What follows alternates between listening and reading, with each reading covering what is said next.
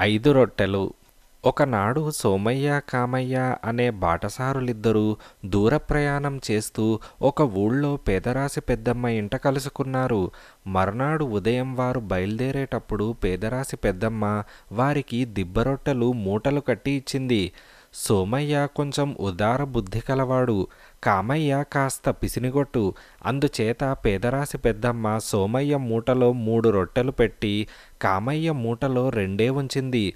కొంత దూరం పాటు ఇద్దరి దారులు ఒకటే కావటం వల్ల సోమయ్య కామయ్య కలిసే బయలుదేరి మిట్ట మధ్యాహ్నం వేళకి ఒక చెరువుగట్టున చెట్టు నీడన చేరుకున్నారు. వాళ్ళు చెరువులో కాళ్ళు చేతులు ముఖాలు కడుక్కొని చెట్టు నీడలో కూర్చొని రొట్టెలు తినడానికి మూటలు విప్పేసరికి సోమయ్య మూటలో మూడు రొట్టెలు కామయ్య మూటలో రెండు రొట్టెలే కనిపించాయి. వెంటనే కామయ్య చూశారా పేదరాశి పెద్దమ్మ పక్షపాతం? నా మూటలో రెండే రొట్టెలు పెట్టింది అని కామయ్య అన్నాడు. సోమయ్య ఆ మాటలకు నవ్వి రెండు రొట్టెలు మాత్రం తినగలమా? సరే కానివ్వండి అంతగా తినగలిగితే ఐదు రొట్టెలు ఇద్దరము సమంగా పంచుకొని తిందాం నాకేమీ అభ్యంతరం లేదు అని సోమయ్య అన్నాడు. వాళ్ళు భోజనానికి కూర్చోబోయే సమయానికి ఆ చెట్టు నీడకు రామయ్య అనే మూడవ బాటసారి వచ్చాడు. అయ్యలారా ఆకలి దహించుకుపోతున్నది. మీ ఆహారంలో కొంత నాకిస్తే మీ రుణం ఉంచుకోను అని రామయ్య అన్నాడు. వెంటనే సోమయ్య మీరు కూడా మాతో పాటు భోజనం చేదురుగాని మా రొట్టెలు ముగ్గురికి సరిపోకపోవు అని సోమయ్య అన్నాడు. అడగటమే తడవుగా రామయ్య కూడా వారితో పాటు కూర్చున్నాడు. ఉన్న రొట్టెలను ముగ్గురు పంచుకొని తృప్తిగా తిని చెరువు నీరు త్రాగారు. రామయ్య మిగిలిన ఇద్దరికీ తన కృతజ్ఞత చెప్పుకొని సోమయ్య చేతిలో డబ్బులు పెట్టబోయాడు.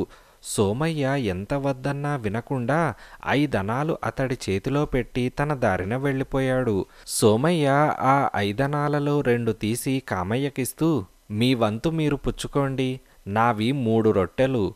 మీవి రెండు రొట్టెలు. ఇందులో రెండనాలు మీకు చెందటం న్యాయం అని అన్నాడు.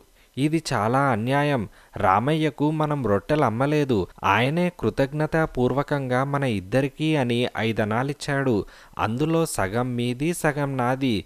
నాకు మరో అర్ధనా వస్తుంది. దయచేసి ఇవ్వండి అని కామయ్య అన్నాడు. సోమయ్యకు అర్ధనా గురించి కాపీనం లేకపోయినప్పటికీ కామయ్య పిసినుగొట్టుతనం చూసి ఒళ్ళు మండుకొచ్చింది. పదండి మనం దగ్గర గ్రామానికి వెళ్ళి న్యాయాధికారిని అడిగి న్యాయం తేల్చుకుందాం. మీరు చెప్పింది నాకేమీ న్యాయంగా కనపడటం లేదు అని సోమయ్య అన్నాడు. ఇద్దరూ కొంత దూరం నడిచి ఒక గ్రామం చేరుకొని ఆ ఊరి న్యాయాధికారి వద్దకు వెళ్ళి జరిగిందంతా చెప్పారు.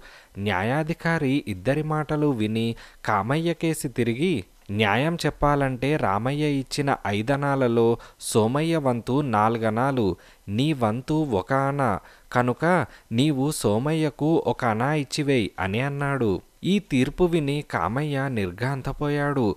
న్యాయాధికారి మరొక అర్ధనా ఇప్పిస్తాడనుకుంటే తనన్నే ఒక అనా సోమయ్యకివ్వమంటున్నాడు. అయ్యా ఇదేం న్యాయం? మా రొట్టెల సంఖ్యను బట్టి చూసినా నాకు రెండనాలు రావాలి కదా. నన్ను అనా మాత్రమే తీసుకోమంటారే? అని లోభి అయిన కామయ్య అన్నాడు. అవును నేను చెప్పిందే న్యాయం. అది ఎలా న్యాయమో చెబుతాను. ఐదు రొట్టెలను ముగ్గురు ఎలా పంచుకున్నారు? అని న్యాయాధికారి అడిగాడు. అందుకు కామయ్య చిత్తం ఒక్కొక్క రొట్టెను మూడేసి భాగాలు చేశాం.